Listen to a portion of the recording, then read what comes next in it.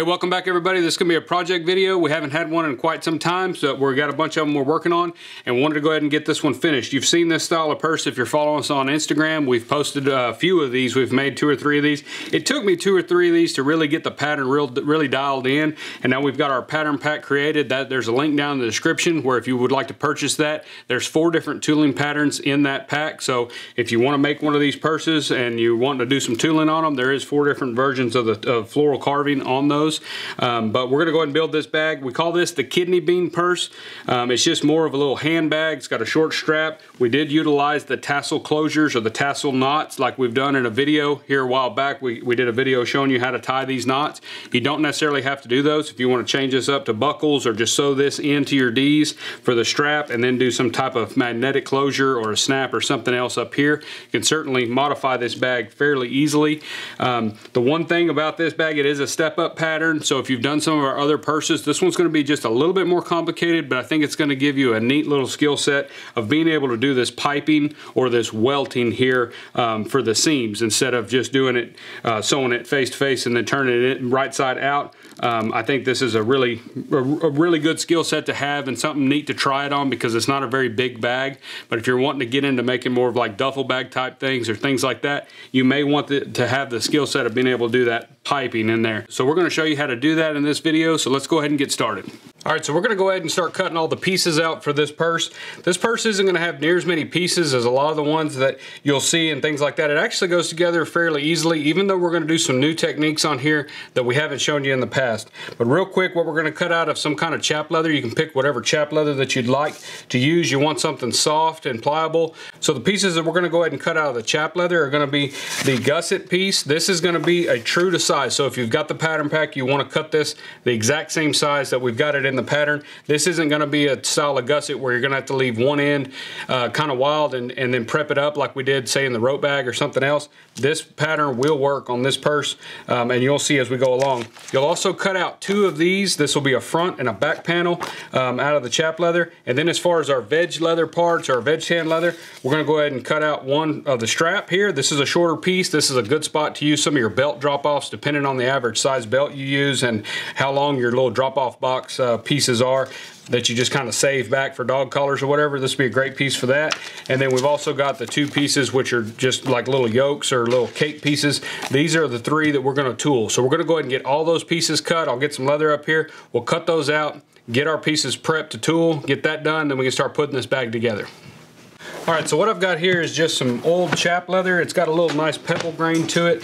If you bought any of the wristlet purse pattern packs uh, over Christmas or around the fall, you may have gotten some of this. I've got quite a bit of this stuff left and we're gonna order some more. It makes a really, really nice bag. It's got a good feel to it um, and it's not just super, super thin and flimsy. It's more about a four ounce and that's probably what you're gonna wanna use. Four to six ounce, somewhere around in there. It's not that critical. One thing you're gonna wanna do is be sure that you pick out a leather that's got some good softness to it. Something that's not real stiff because we are gonna turn this purse inside out. So we're gonna go ahead and cut our uh, few pieces out of this that we need out of the chap leather and then we'll bring up some veg tan and cut that out.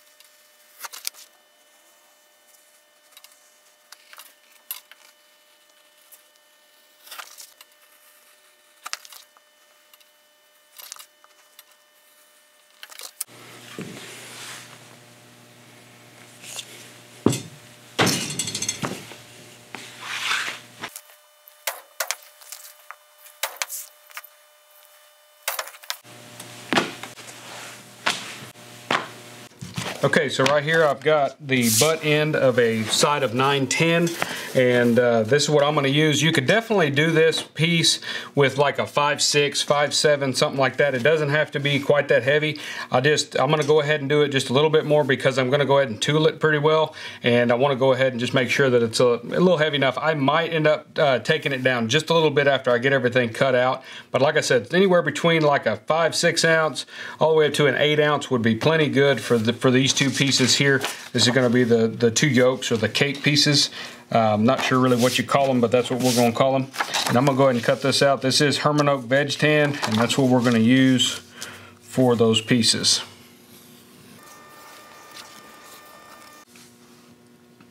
Anytime I'm cutting out any pattern, I like to just put me a center line on there just so that I have that as reference when I'm laying the pattern out. If I've got to center up some initials or anything like that, I want to go ahead and be sure I can do that without having to measure again.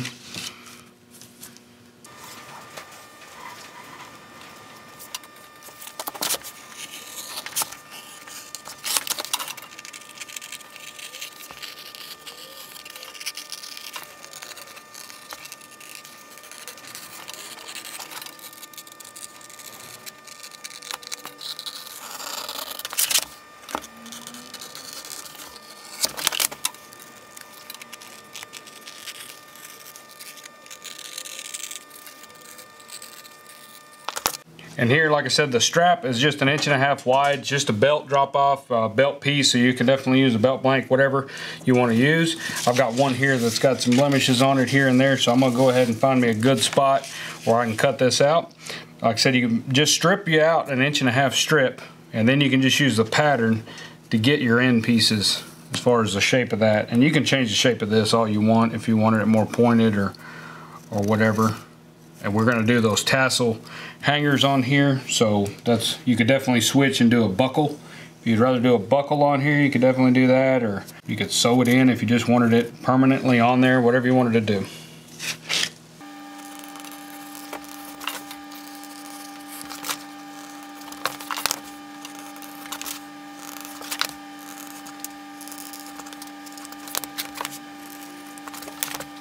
And since we are doing those sewn on tassels, I'm going to go ahead and uh, mark where my tassel is going to be sewn at so I don't tool past that since we are going to tool these.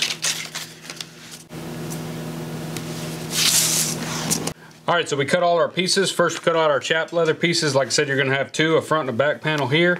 And then we went ahead and cut out our gusset, true to the pattern. So just cut that out. I used a half uh, half round punch here to get these these slots. You can definitely cut those by hand if you don't have a half round punch or something.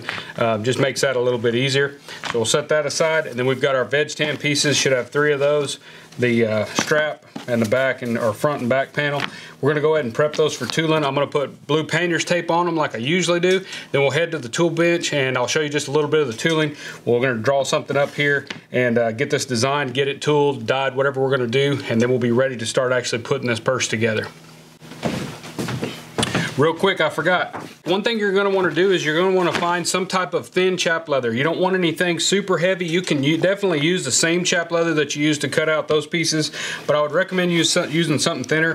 Here I've got just an assortment of English bridle leather that I got from Aaron at Maker's Leather Supply. I might use some of this, or I can also use this thinner chap leather here. This stuff came in and it's closer to about a four ounce than it was uh, closer to six ounce. So it's a little bit light and it'll be really good for making the welt. We're gonna go ahead and do a pipe seam on this. So we need to make a welting material or a piping that we can put in there when we sew the bag together. And that when we flip it out, it's got a really nice piece.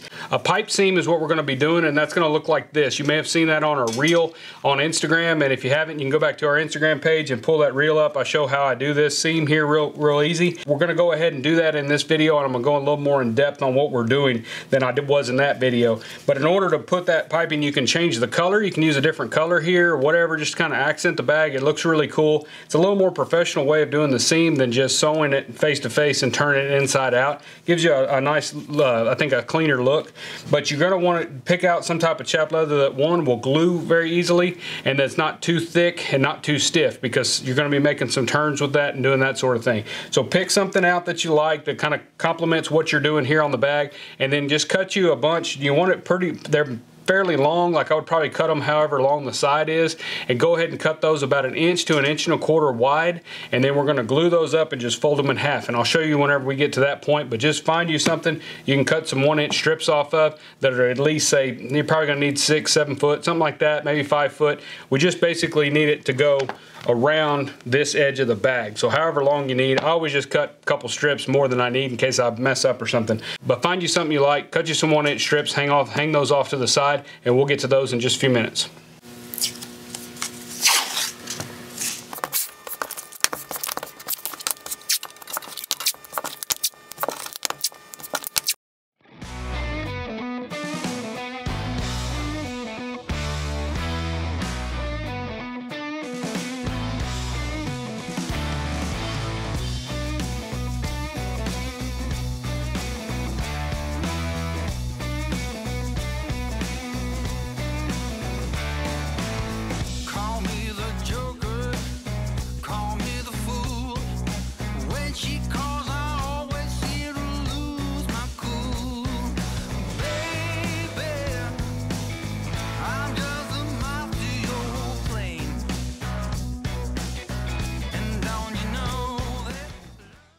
Right, so we've got our panels tooled. All I did on these is I just did a uh, medium oil antique on these. So I just oiled them with olive oil and then antique them.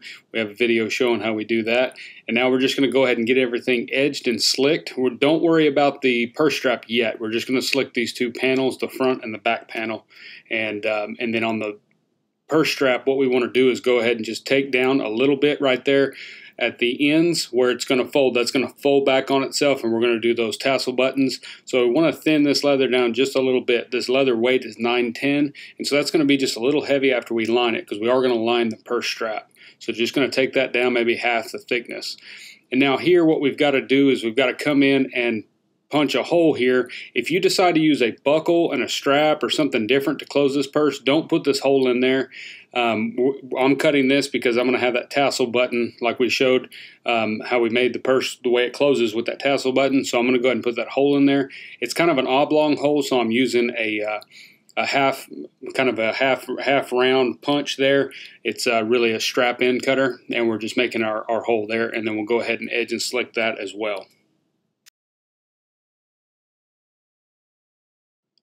So now after we slick all the edges on these two panels, we'll just set them aside and let those edges dry real good so that we can put dye on them. Um, you want to be sure that they're dry before you go ahead and dye those edges. Now we'll take our gusset, we're going to take our gusset and our two main body panels and we're going to go ahead and skive a little bit around the edge. If you have a bell knife skiver, this is a great way to do this. I do not, and most of y'all probably don't have a bell knife skiver, so we're going to go ahead and do these by hand with just a safety skiver. What you want to do is be sure that you have a nice sharp blade in there and you just want to take about half the distance or half the thickness off. Maybe not even that much. You just want to take a little bit because the way I'm going to make this purse is we are going to welt this. So I want that welt to lay in there nice and flat. I want everything to bend real nicely and make a nice, real clean seam. And so I'm going to go ahead and thin this down just a little bit. I'm only thinning it where the actual body is going to attach. So you saw me mark it right there at the beginning. Um, and that's just going to make it lay nice. If you're not going to put a welt in this bag or a piping when you do this bag, you can certainly just sew panel to gusset inside out and then flip it and it works just fine. The very first purse I made, I did that way, and it works great. If you're going to do that, you don't necessarily have to do this step here. You sure can. It does make it turn a little bit easier, and it will make that seam look a little cleaner, but just don't go too thin because you're not putting any more material in there with a piping or a welt. So you want to be sure you have enough material there that the stitches will hold really well and that you won't see any of the stitches when you turn it inside out. So we'll do this to all the panels um, or all the pieces here for the main body of the bag, and then we should be ready to start um, put those tooled pieces on the front and back body piece as well.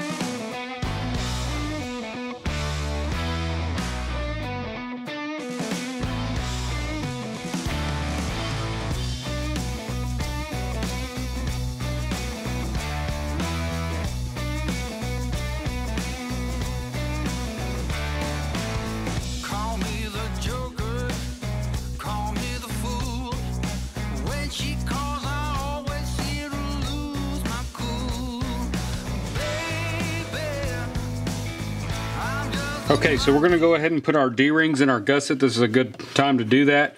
And the way the pattern is, it just folds over and you line up the top two edges right here on this corner. This front part that folds back, I kind of like fold it to the outside. I think the rough out looks nice to accent that gusset. You can surely change this up and just make it a little wider and just fold it to the inside if you'd prefer. Um, but the way I have it set up, you fold it to the outside, line these up. You may have to trim a little bit of this front these little front wings right here you may have to trim that off to match the gusset but we're going to fold that over with this D in there so we'll go ahead and stick this in there right quick and make that fit. And the D's that I'm using are an inch and a half wide. So that's an inch and a half D. And these are just some little designer D's that I got from Ohio Travel Bag. They're really neat. They got a bunch of different styles and stuff. You can pick some out. Use any D that you'd prefer. And then we're gonna go ahead and line that up. And I'm gonna go ahead and mark it and then we'll glue it together and then we'll sew it. Um, sew that in. You just wanna kind of make sure that you're, you're centered on the gusset best you can and then we'll mark where that's going to be and then we'll go ahead and take that D back out and then we'll do the same to the other side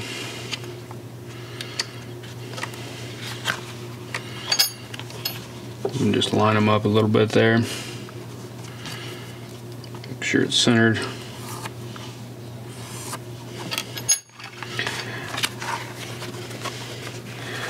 Now we can go ahead and put glue. My glue's kind of getting thick. If you have a glue pot where your glue is getting a little bit thick, you can always add a little bit of uh, acetone in there and um, and that'll thin it out. If you're using barges, I think they do make their own brand of thinner. Um, I've always used acetone, it works fine, but I don't use barge. I just use the contact cement from the hardware store. But you can always thin that down with some acetone. You don't have to throw that glue out.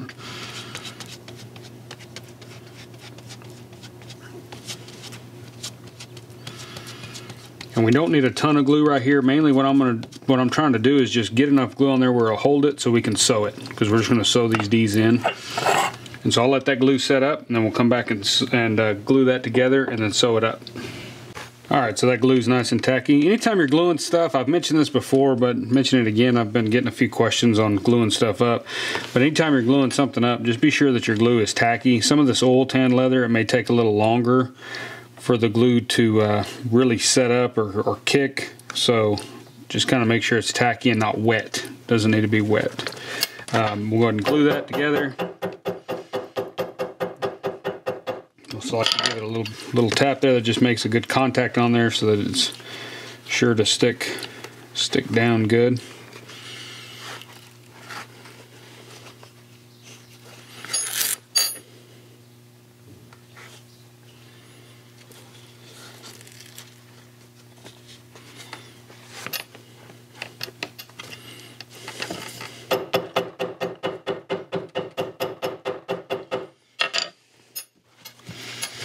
Got both my D's in there on this gusset.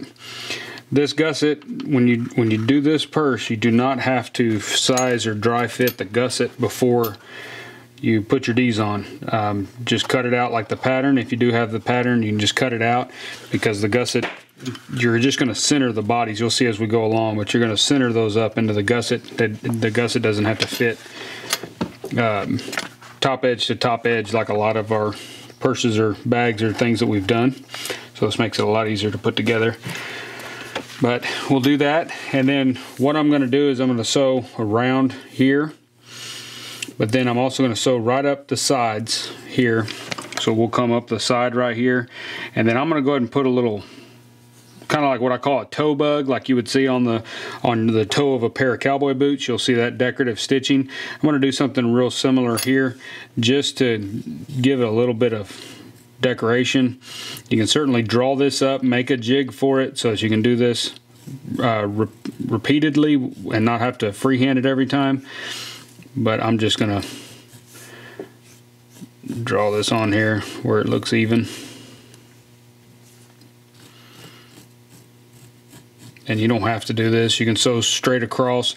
when I'm sewing stuff up, it's just kind of habit. Um, being a saddle maker, you don't usually sew across any point of tension. So any point that's going to actually have weight pulled against it, you don't you want to try not to sew directly across because that's perforating your strength point. This is a purse. It's not going to be that big a deal, but I'm still just out of habit. I'd rather do this type deal just to secure this where I don't have any stitches that go straight across. So I'm going to do that that little football shape kind of thing right there. Uh, plus, I think it looks better than sewing straight across. But you can definitely do it however you prefer.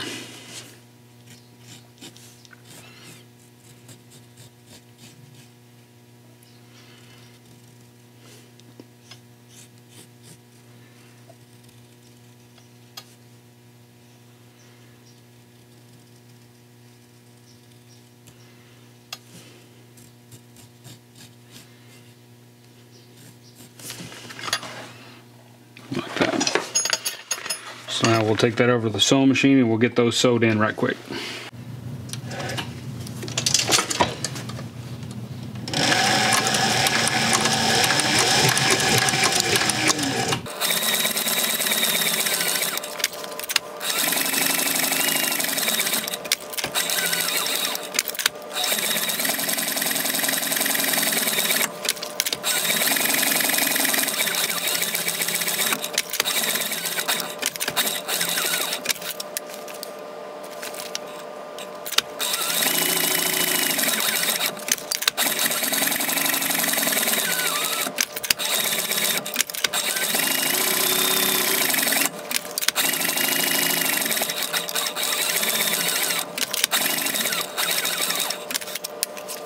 Got both of these sewn and as you can see, we, like I said, we just did that little that little decorative stitch right there. It's going to keep them in there nice and secure.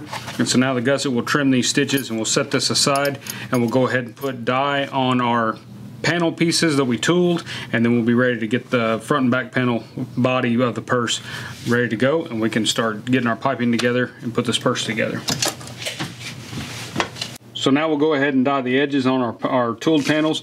I've already dyed the uh, inside edge here of this circle. I did that with a actually a Q-tip. It's a little tight trying to get the dauber in there.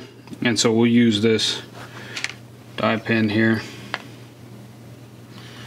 And we'll get these all dyed up and then they'll be ready to sew onto our body pieces.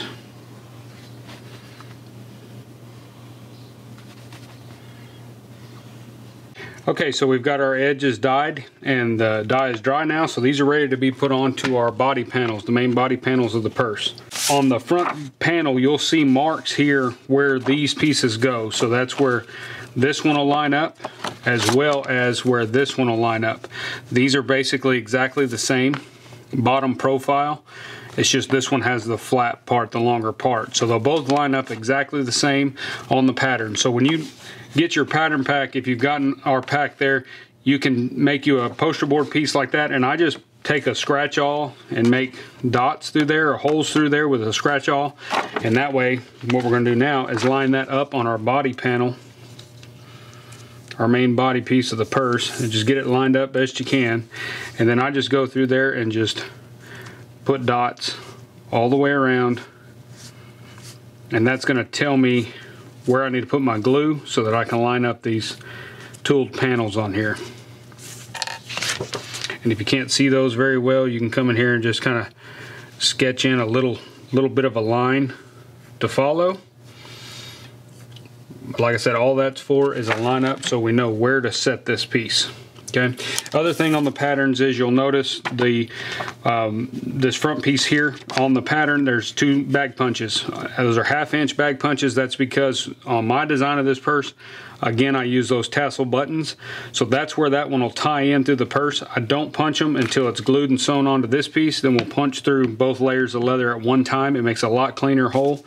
So don't worry about that then.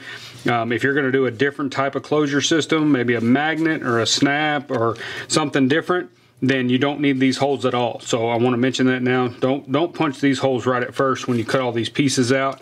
Same with that hole there. You may want to use a different type of closure than those tassel buttons.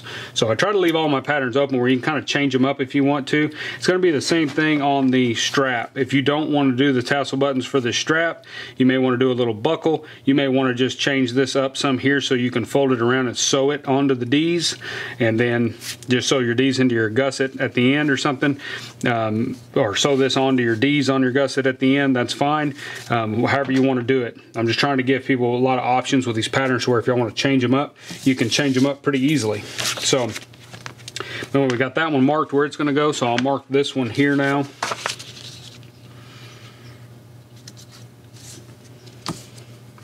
And you can use a pencil for this too. You don't necessarily have to use a scratch awl these little lineup holes, doing things like this. I do this on almost all of my patterns um, for different fold marks and, and mark placement marks and stuff like that. The man I learned from, that's what he, that's how he kind of patterned everything. He was very good at patterning different items and he always had some type of marking system so you don't have to try to refigure center or depth on anything. You can just kind of get it on there and, and uh, mark it. So now we use the glue. Um, if you want, Again, oil tan, you can sure take a little piece of sandpaper and scratch this up. Just anything will work, just something to kind of break that grain surface just a little bit so that the glue will hold a little easier.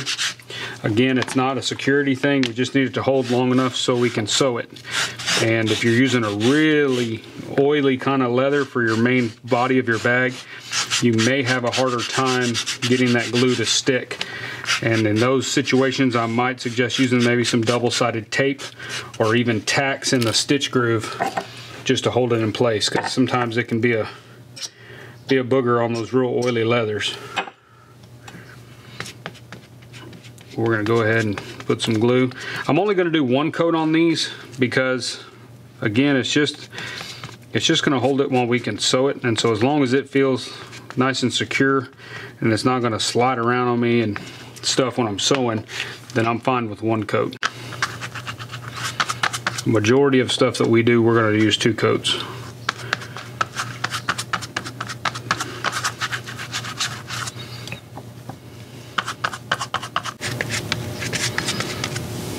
So real quick, I want to talk about the patterns. If you buy the pattern pack from us, you'll notice on this, this piece here with the flap for the closure of the purse, you'll notice that I have a line here, just like I do on my pattern. That's a stitch line.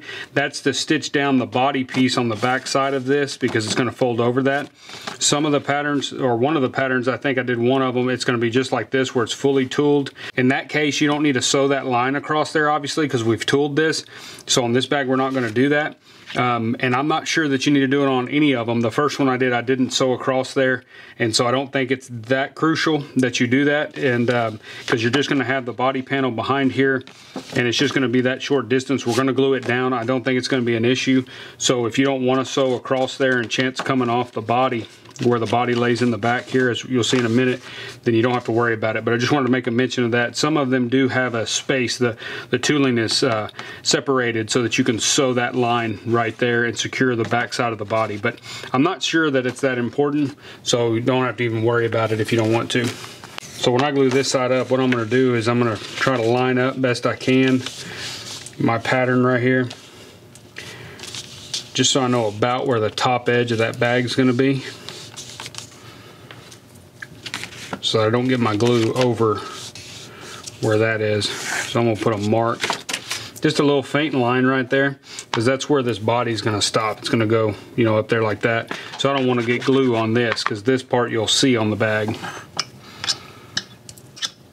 And so I just, all we need is enough glue to hold it in place.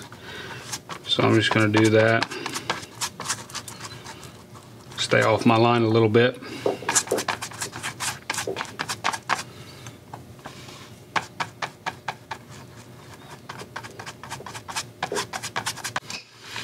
Right, so we'll let that glue set up and then we should be ready to stick everything together. Okay, so our glue is nice and tacky, so we'll go ahead and just set these where they go. Want to make sure on this one that your top edge is nice and flush with your tooled piece there.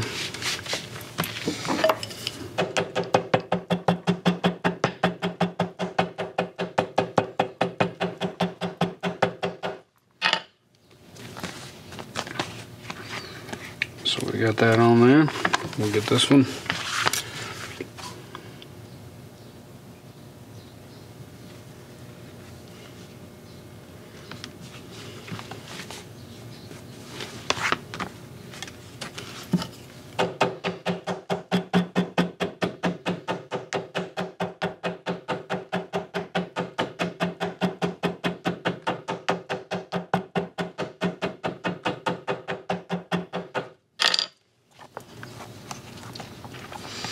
Like to kind of look at it and make sure these look even and this looks you know space there and there. It should be if you base it off the pattern, should be fine, but just kind of check it out when you set it down there. So see, that's what I was talking about there. You're not going to sew this on a fully tooled one. If you're going to do it tooled up the whole way, you're not going to be able to sew this down, which I don't think is that critical because that's going to fold over the purse anyway. It's glued down. I don't think you'll have any trouble with it. So we'll go ahead and um, groove this one first for stitching. I'm just going to make a mark a, a little off of where the top edge of the body is. I'm going to come down just a little bit on each side and that's where I'm going to start my stitch groove. That's just to ensure that I don't come off the back of the material. And so we'll just take our stitch groover, set it to the distance we want, and we'll groove this for sewing. And this is a horseshoe brand stitch groover. A lot of people have been asking. I've said it in other videos, but just if you've missed it, that's it's a Jeremiah Watt tool, a horseshoe brand tool. I've had it for years. Works really good. I think Weaver sells them. You can probably get on his website and and, uh, and get one from him.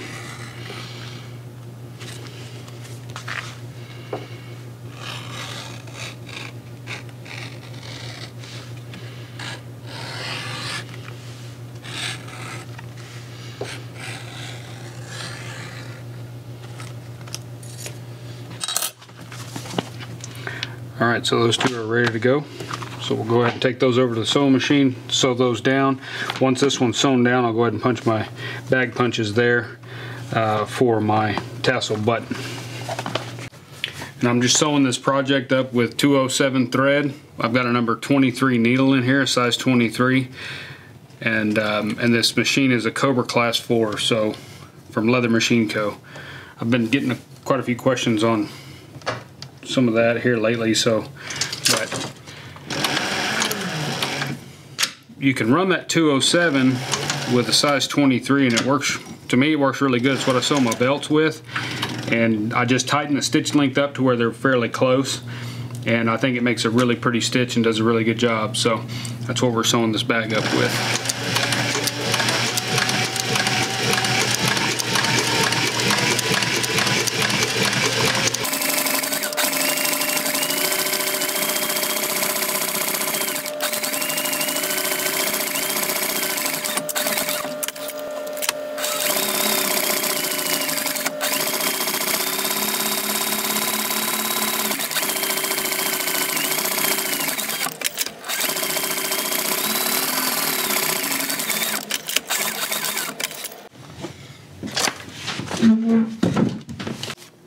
So we have our tooled panel sewn onto the bag body.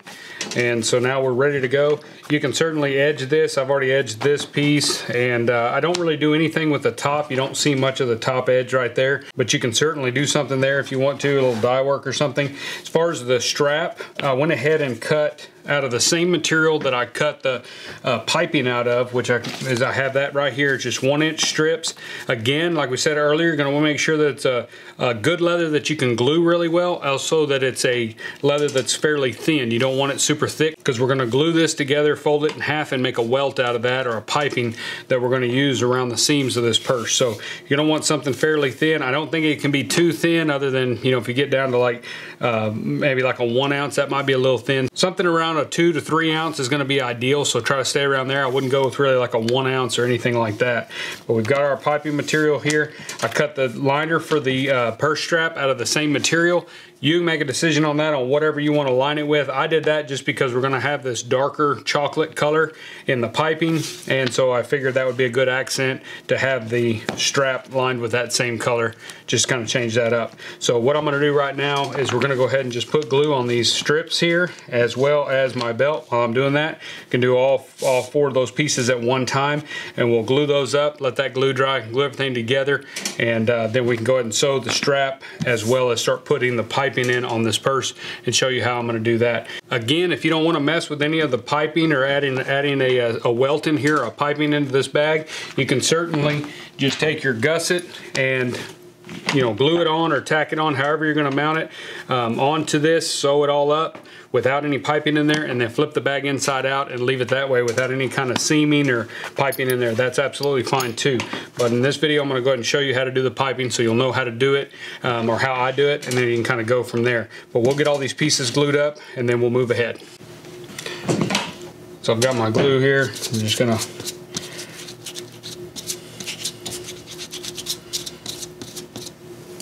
put some on there and get everything glued together.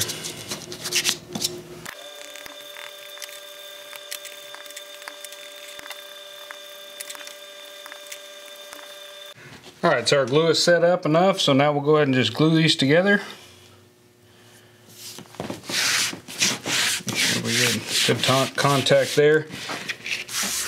I'm gonna get a stitch groover and I'll groove this and then we'll sew it on the machine and then we can edge and slick and do all that. But we'll do that here in a minute because right now I wanna get these these um, this piping ready. So again, this is a one inch strip of that lighter weight type chap leather. Use any color, anything you want. It's a good way to accent a bag is using a different color than the main body of the bag to, to put a little piping in there. And then you're just gonna take that one inch strip after you put glue on it and just fold it in half and press it together.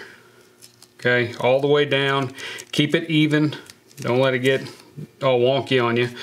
Just let it get even uh, or stay even and you're gonna make just a nice rolled piece there and we'll get this all glued together and then I'll get a hammer and we'll kind of just tap everything down and make sure it's glued really well and then our piping will be made. That's really all it takes to make this. Um, there's some differences that you can do, some things you can do, especially with a bell skiver. You can skive the edges, the outer edges of this all the way along, and that'll make it a little bit more rolled here on the top.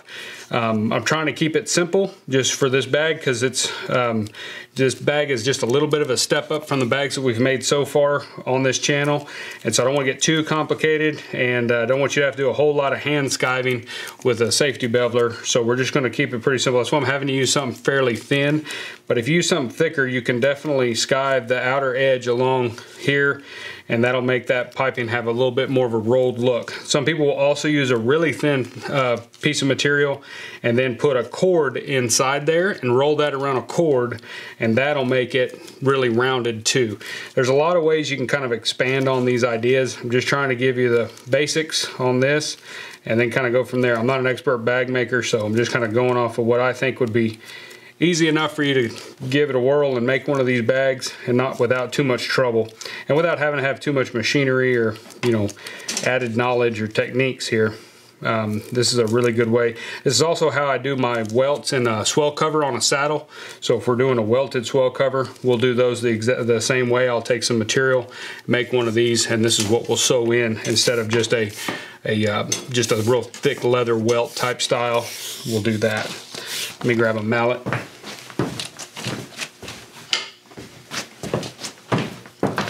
So now I'll just grab my hammer and I just want to tap it down the length of the of the piece. Just going to make sure that it's glued down well. Make sure that everything is stuck together really good and that it's even.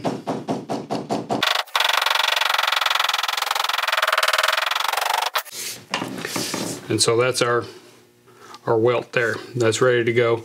And so what we'll do is we'll end up putting this on the bag all around the edge on the face of the bag and sewing this in. And then I'll, I'll show you when we go to put that in how that how that goes. And that way when we turn the bag inside out we'll have that nice finished seam there. You won't see any edges. So I'll get this other one glued up and then we'll move forward okay so we're gonna put this piping in on this piece. What I like to do is I like to use these little tacks. I've got a bunch of these tiny little they're called clinching nails. Any kind of really, really small nail would work. You want them to be able to pop out of there pretty easy as far as tearing, tearing them out as you're sewing because I'm going to put a few in as I go along. And then as I sew, I'll pull them out as I get up to them. You may have seen that in another video that we did, uh, we've done. But when you line this up, you want to line up the, you want the rolled piece, the nice pretty piece to face towards the middle of the purse and the, the edge to face the edge of the outer edge of the body. And so you're just going to line those up line them up nice and true, and then put a tack in there kind of back about halfway down, halfway through. Because we're going to sew, we're going to sew this on a machine first, and what we're going to do is sew this as close to the edge, or the rolled edge of this piping as possible. So you just want to make sure that wherever you put that tack, that that hole doesn't show at the end, at the end of the project. So, but this, I find this is a lot easier. You can certainly glue this together if you'd rather try to do glue. My deal is I end up seeing the glue in the finished product when you turn the bag inside out.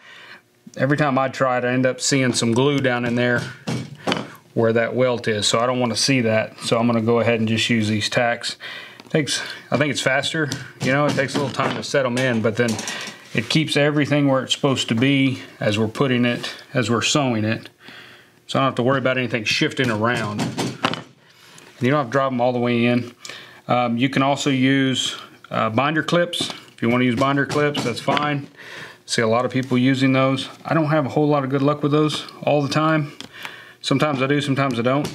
So I got lots of these little nails, so that's what I tend to use if in lieu of glue.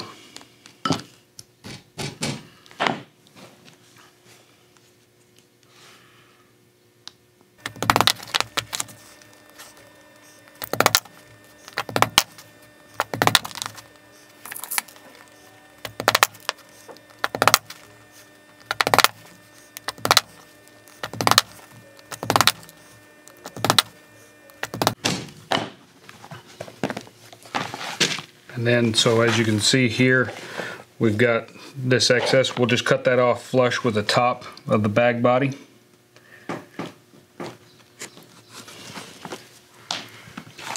We've got that one nailed in place. So you'll do the same with your other panel. Do the same thing with the other the other piece of piping that we made, and then we'll be ready to sew those. We'll go ahead and sew this one. I'll show you how what the next step is. We'll sew this one real quick. Okay, so if you're gonna sew this piping. This is how I figured out the best way to do it or easiest way to do it for me. If you've got a cylinder arm machine with some type of guide, this is going to work really, really good. If, you, if you're hand sewing these bags, you can feel where this welt is, so you can be sure to stitch, because when you're stitching these welts, you're going to want to sew as close to that edge right there as possible there without going having the stitches pop out into here because this is what's going to show when the bag is done because we're going to flip it inside out or right side out. So you want to get really close right here. If you sew too far back on the welt, this welt's going to stick out of the bag. So you want to sew pretty close. So if you're hand sewing that, just keep that in mind. Get everything prepped up. You can go ahead and put your gusset on top of this welt. Don't nail this in, just glue it all together or hand sew it and hold it all together. Um, it's going to be pretty difficult hand sewing, I think, but at least then you're doing it one stitch at a time with an awl, and so you can feel where this welt is right here, and you can be sure that your stitches are where you want them. If you're sewing this on a machine, what we want to do is go ahead and first on the Cobra Class 4, I can only reference that for, for sake of this video, so um, I'm going to go ahead and put the right toe presser foot on, or the one that's where the presser foot is only on the inside of the uh, of the walking foot in the middle. So I usually sew with the outside one on or the left toe presser foot. Um, this time I'm going to switch to the inside because I want to be able to get that needle close to this edge of the piping. I'm also going to have my guide on here. So once I get the first couple of stitches set where I want them, then I'll set the guide and then we'll sew all the way around. Then don't move that guide to sew the other back panel as well as when we go to put the bag together as long as you haven't moved that guide because when you put the gusset on here to sew it um, we're going to over stitch. We're going to stitch this right now. Then we're going to put the gusset on, nail it in place, um, and then we're going to over stitch again. So there's basically two rows of two lines of stitches on, right on top of each other. Um, but that's going to ensure that the welt doesn't move. It's secured first, and then when we sew, as long as you don't move this guide, you should be sewing basically in the exact same spot as you were before. Because when the gusset's on here, you won't be able to see this welt. So that's usually the biggest hassle is trying to figure out where you are. And if you're not paying attention, you can get some stitches on the inside here. So with a guide, it helps you quite a bit to hold everything in place and to be sure that you're sewing where you need to be sewing at.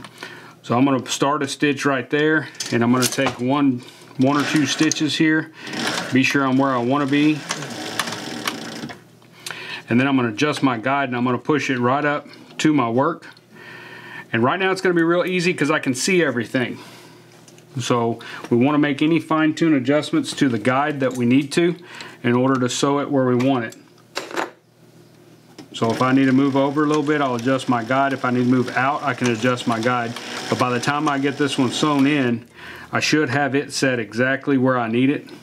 And then we can just use that when we sew the gusset in.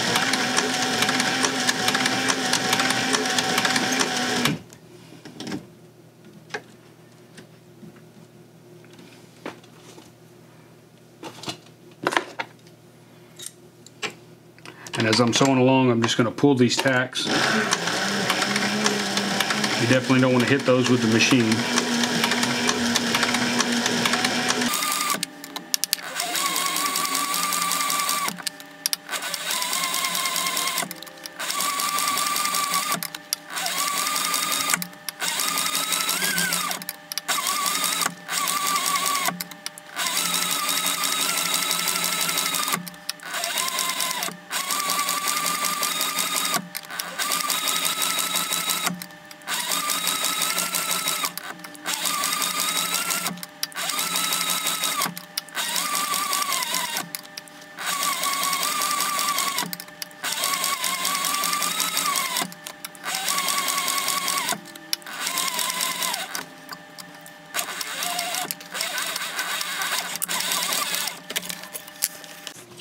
So as you can see there, that welt sewn in, I'm fairly close. You maybe could get a little bit closer, but if you were to cord this welting or skive it like we were talking about earlier, you probably wouldn't be able to get much closer than that because this would be rolled even more than it is now. And so that's about a good distance from the edge. And if I measure that, just to give you a reference on what I've done here, um, about 3 sixteenths of an inch from the inside of that roll. So from here to the stitch line is about 3 sixteenths of an inch. So there to a quarter inch is probably plenty. You just don't want to go so far out that this, this welt ends up, ends up sticking out of the seam of the bag. But that's sewn in place and so now this is set. So we're going to make sure that that stays locked down.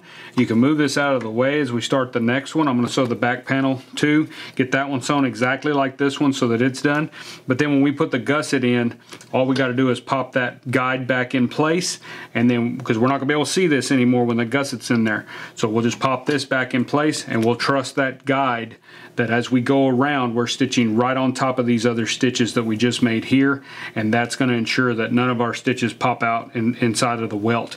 And um, that's the that's the best way I found to do it that that uh, keeps everything right so that you have a nice clean seam and uh, goes together pretty quick. So we'll get the other one sewn real quick and then we'll start working on putting our gusset in. Okay so we've got our welt sewn in on both our front and back panels here and so now we'll go ahead and sew our gusset in and begin to assemble this bag we're going to do it inside out and then we'll flip it at the end. What you want to do is take your gusset, like I said, we didn't, this is already cut to size, so just cut it the exact size it is in the pattern and then we'll go ahead and fold it in half, find center. I've already done that. You want to make a mark on the inside of the leather where your center mark is on each side of the gusset. And then you want to take your pattern and go ahead and put that on there and find center of the front panel mark it on that welt right there.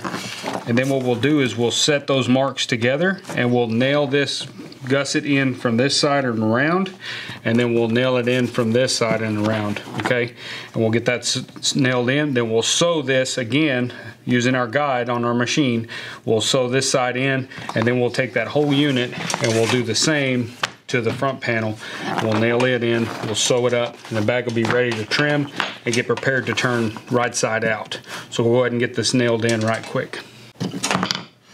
So I've got my center mark on the front panel. I've got my center mark on my gusset. And we'll go ahead and put one right in the center. Just stay on the inside of your stitches. You don't want to show a hole in the uh, in the finished purse. And you want to keep the outer edge of this really flush all the way around because we're going to be using that guide. So you want it to be all nice and even so it can follow along real easy.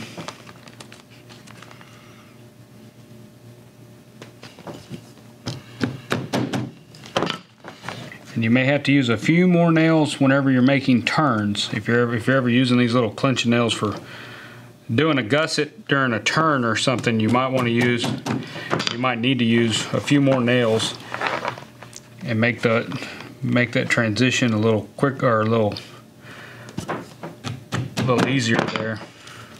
So might have to get them spaced a little closer together.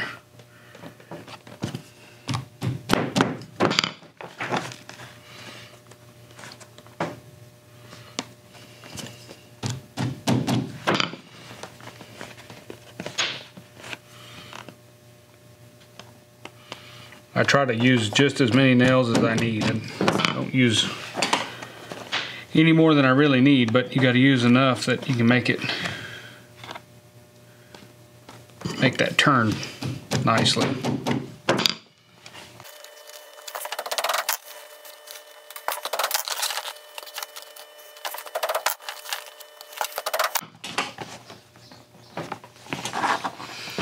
And so it should come out to where, where those wings were for this side where we sewed this over. That bottom spot right there ought to end right where the gusset or the uh, body comes up. So it, that's kind of how I have it laid out. And um, as long as you're not pulling the leather too much, it should, because some leathers are going to be stretchier than others, and so you might get more pull out of it than the leather I'm using, but in general, they should be fairly close to that top edge of the body. So using a real stretchy leather, you might stretch, you know, pull it too tight and gain some distance there, and you might not might not get them to meet up quite as nicely.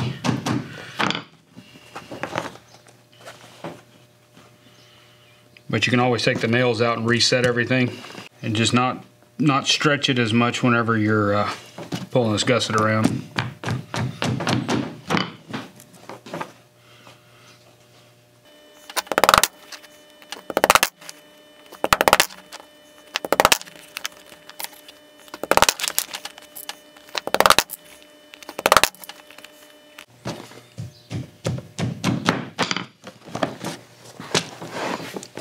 So if we look at both of those, they both ended up just right.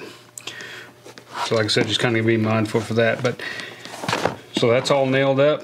That gusset's ready to sew in. We're gonna go to our machine, use our guide. We're gonna sew again, and that'll get that one side on there just right.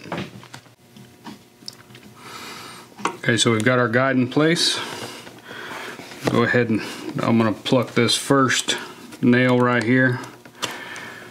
I'm not gonna be able to get a stitch in there. And that first one might have to hold with our hand our fingers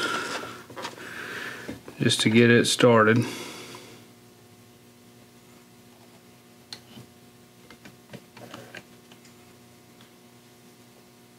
I want to check, make sure I'm not jumping out of my welt.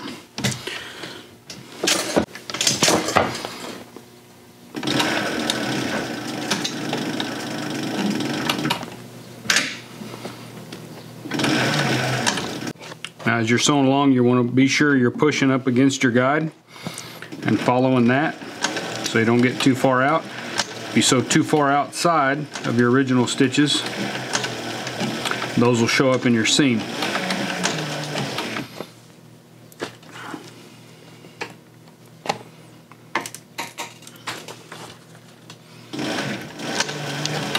But you can see what I'm talking about right here. You can't see that welt So that's why we sew it in first, set the depth with the guide, and then trust that guide as we sew along. I say trust it, but check it too. So every once in a while, you can peek inside there and make sure you don't have any stitches that are coming out. Just in case your guide has moved or something's changed.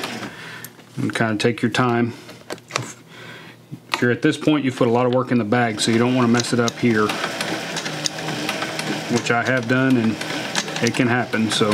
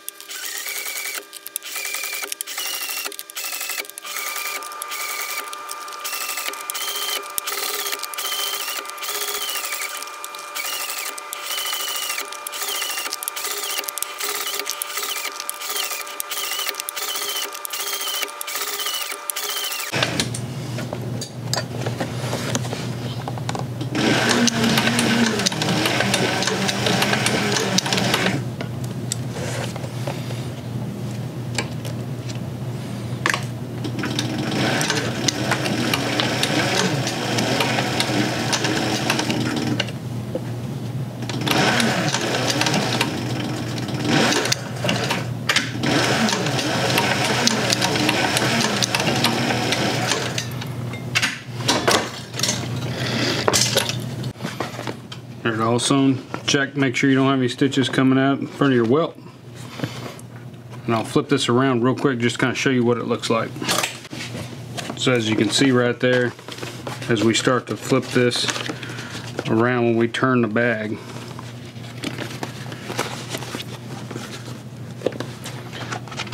you'll see that piping in there. So that's what we're kind of after. Now we'll do some trimming and stuff to really turn this bag inside out. We've got to get the other side sewed on first.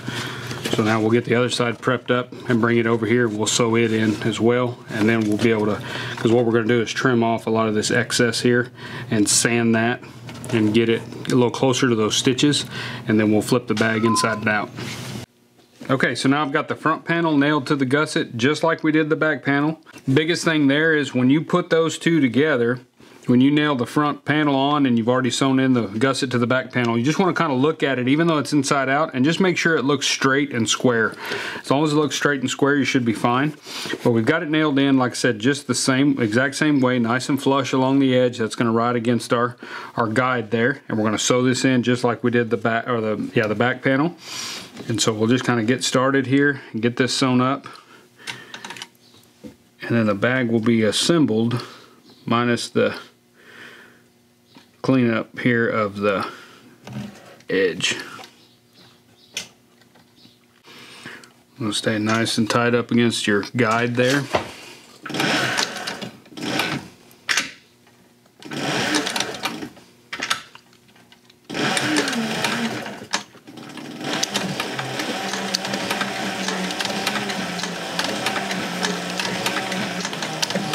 Get a few stitches in and then you want to peek in there and make sure sewing where you want it to sew. Now that you've got the bag together, so you're not going to be able to peek really easily in there to see your seam on everything. Uh, or, or, all the way around the bag because it's actually you got a front and back panel on now so as you're sewing uh, as you sew the front piece that's whenever you, you're able to see that welt a little bit easier so as long as it's sewed it good and you haven't moved your guide you should be able to trust it even more um, on this round here and so you just go ahead and sew along and if you feel something really funky or weird as you're sewing you can always stop and uh, peek down inside the bag and make sure that you're not coming out of your out of your seam there out of your welt. Biggest thing on these is just take your time. Don't get in a hurry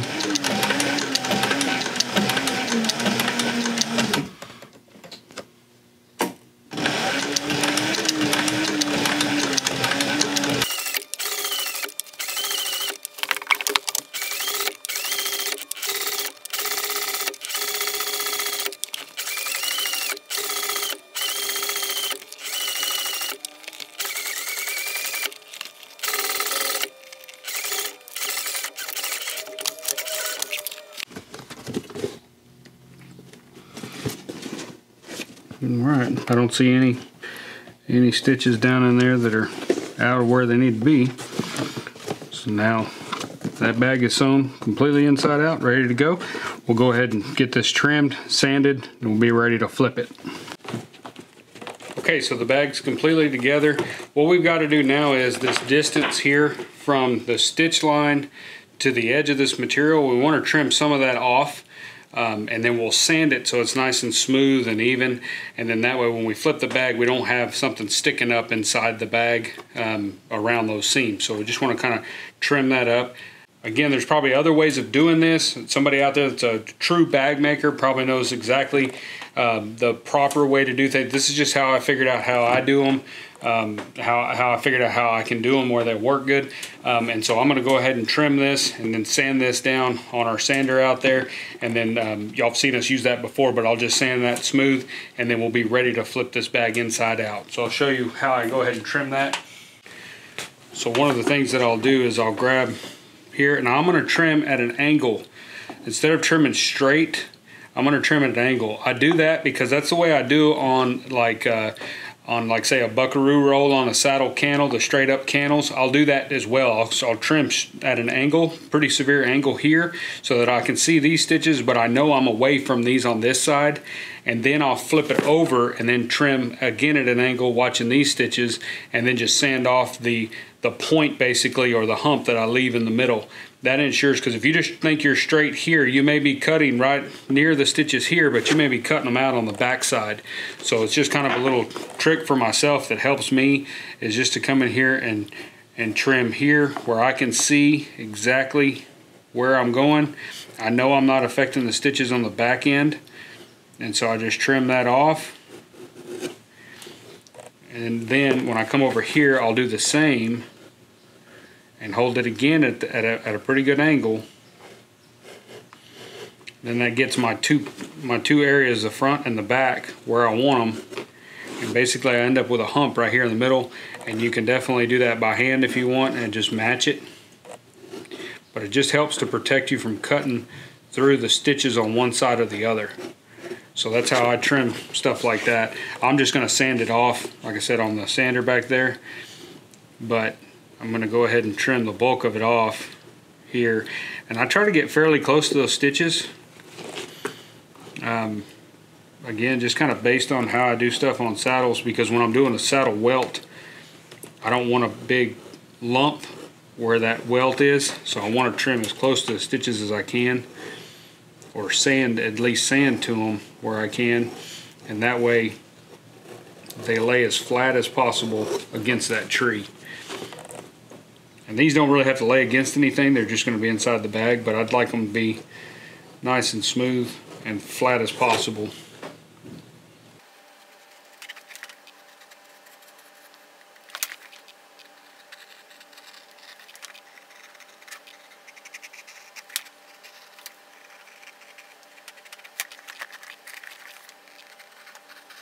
Okay, so we've got the edges sanded. I sanded all the way around there.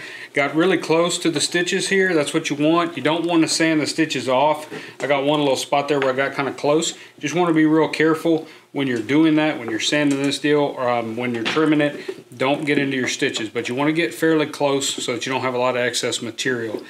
This bag is basically ready to be turned inside out now, and so that's what we're going to do every bag is different. Every material that you uh, flip right side out is different. Um, you're always, like we talked about at the beginning of the video, you're always going to want to try to pick a material that is fairly soft so that you can flip this thing fairly easily. If you pick something out that's fairly stiff, you're going to have a lot more trouble trying to flip this inside or right side out. So, but this stuff's pretty soft.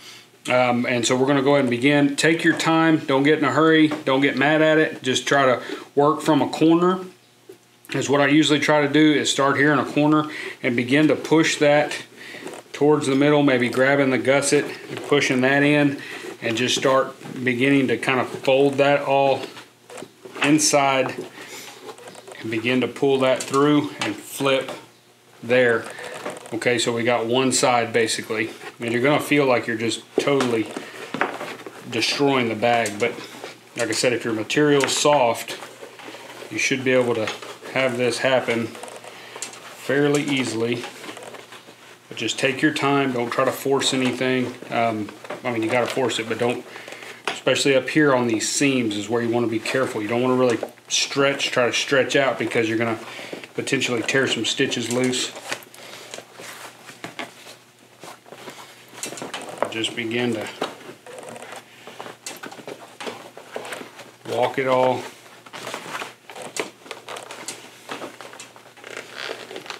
up.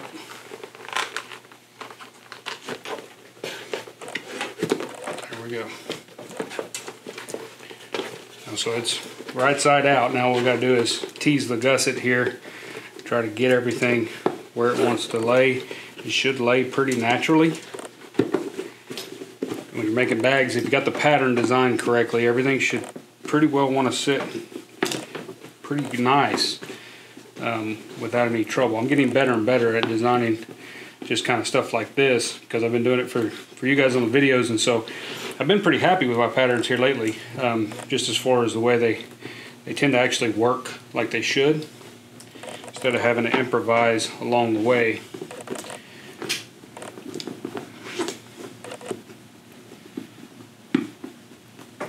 Then you want to kind of squish your seam and just push you want to push out with your hand and kind of uh, kind of straighten up your seam, so to speak. So you're pushing that block of material out with your fingers and then just kind of pinching around there to get everything to lay correctly, to get that, that seam to lay nice and flat up in there.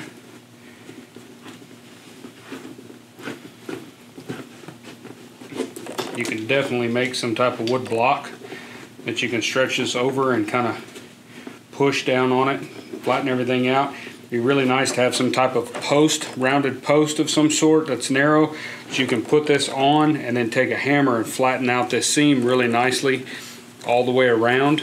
Um, that makes it really nice. That's what I do on swell covers, but they're bigger and more open, and so I can put them on the rock and hammer down inside on top of that welt, and it really flattens this piping down and makes everything look really nice and even.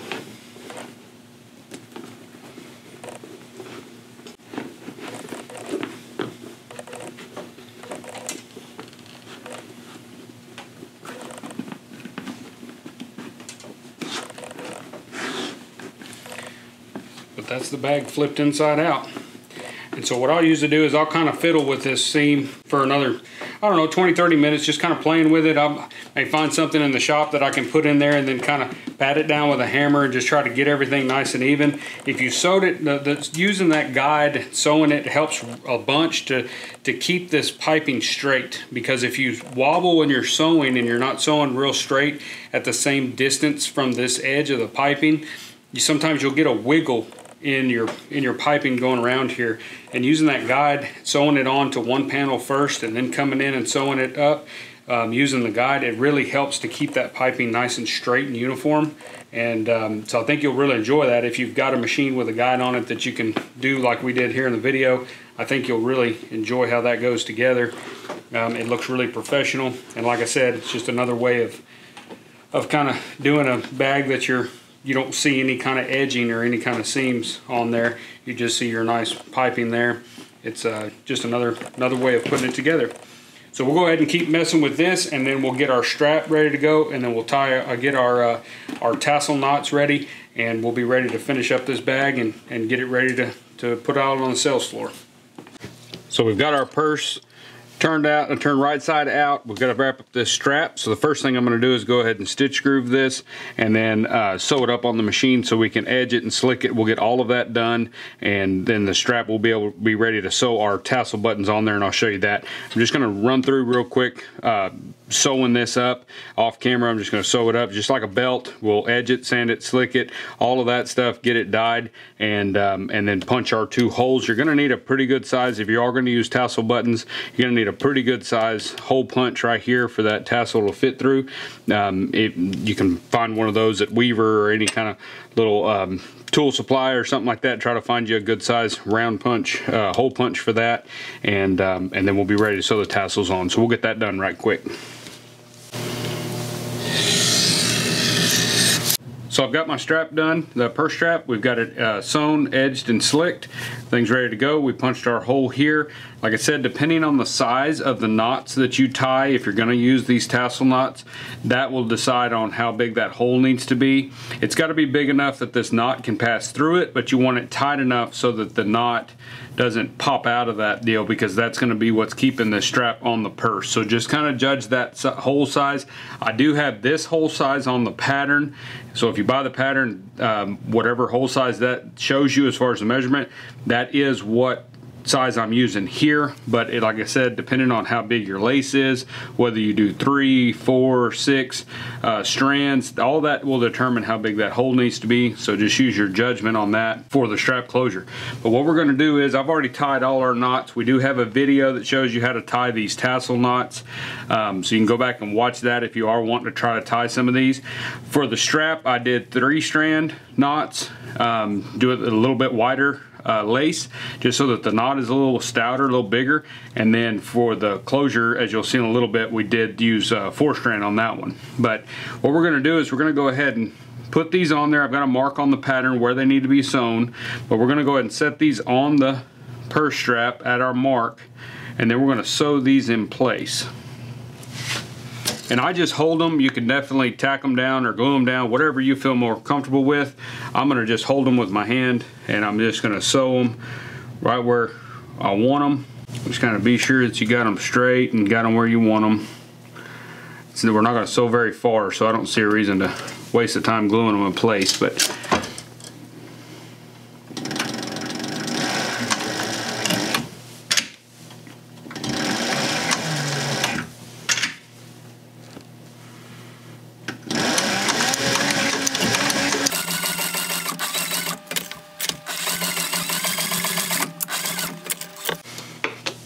that's one sewn on there.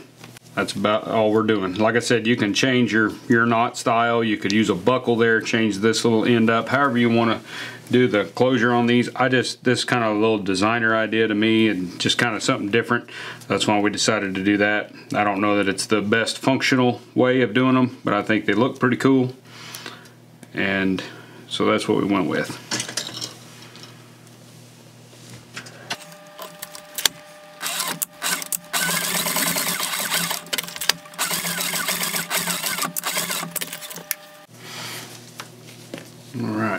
And so basically the way this will work is you put these tassels through there, the strap, strap ends, and once it's on the D, then that'll pop through our hole here.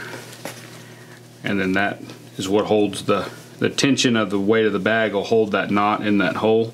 And that's how that strap attaches to the bag. And then you have this cool little knot and tassel hanging down. So that's our strap. We'll go ahead and get that put on the bag and we should be rounding that bag out. Okay, so we got our strap ready. We're ready to put on our third tassel. This will be the one in the closure. And as you notice, you might have noticed earlier in the video, I did forget to punch these bag punches.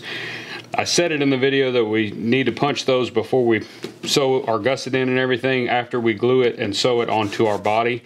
Uh, that way we get a nice clean cut. But I forgot and got through the bag and hadn't punched these holes yet. Not a huge deal on this particular bag, but you want to kind of be careful on stuff like that. Be sure you do all your hole punching and everything before you assemble the item. So what I'm going to do is I'm going to take this big aluminum block I'm just going to set that inside the bag to where it's about where I need my holes. I do have the holes marked on the bag. Now I'm gonna take a couple pieces of heavy skirting leather, just put that on top of my, my aluminum block there. That's just to ensure I don't go through all that leather and uh, hit my block and mess up my tool.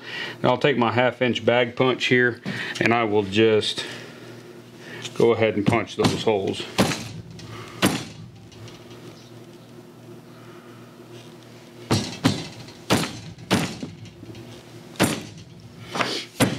Like I said, small mistake can end up being a big problem on some types of bags and different things that you make if you don't get those things done early.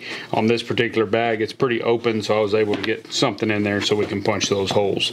But now we've got those in there. So now what we've got to do is put our closure knot on here. That's what we'll close, be able to close this bag with that larger hole of the flap.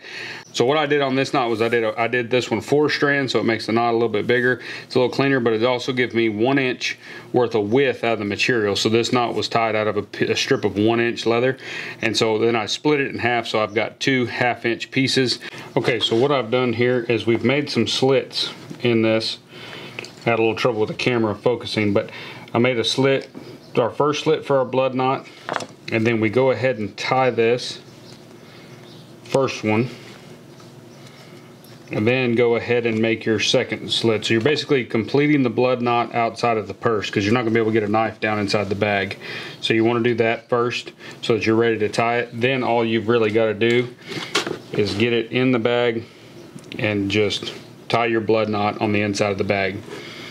And I'm not gonna be able to shoot that because there's not enough room in here obviously. So we'll go ahead and get that tied up real quick. But you're just doing the blood knot, but you're doing it inside of the bag. Just like that. And then there's your knot. And that keeps that flap closed. Now you can definitely make a bigger knot if you would like a bigger knot or a smaller hole depending on what you're going for. You may do away with this completely and do a magnet or a snap or something like that for the closure. But if you're gonna do the tassel knot, you wanna make sure that that knot is big enough that the flap doesn't pop off all the time where it's coming, coming open all the time. And then as far as our strap, do the same thing.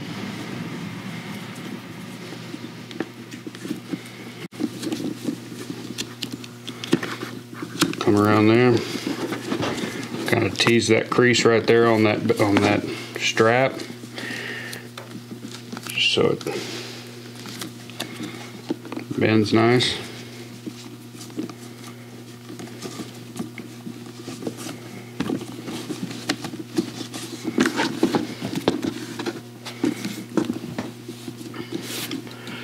So that's our little bag.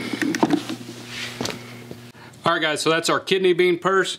Um, like I said, I could have probably come up with a better name for it, but that's the shape that it is, so that's what we stuck with. But it went together pretty good. Um, I, I, my main deal with this video is, again, wanted to show you how to do those side seams. We did a little reel about it a while back when I was trying to really dial it in and make sure that I could reproduce it and show it to you and, and, and something that where you can go ahead and do that in your shop and actually learn how to do these to where they're not as intimidating because I've, these have always scared me um, in the past because you can really screw up a lot of material real quickly if you don't have some kind of set way to really be sure that you're sewing where you need to be sewing when you're sewing these side seams um, or these they call them side seams in boots but um, the, this piping or this welting here in the bag. But I think it makes a much nicer bag. I think it looks a lot more professional. Again if you don't want to fool with any of this you want to make some of these up fairly quickly um, and keep the cost down you could definitely just sew all the pieces together without the piping in there, flip it inside out. I've done a couple of them that way, trying to get the patterns all dialed in, and they look really nice and clean. So you could definitely do that. Again, you can change the way the closure is. You can change the way the strap attaches to the bag.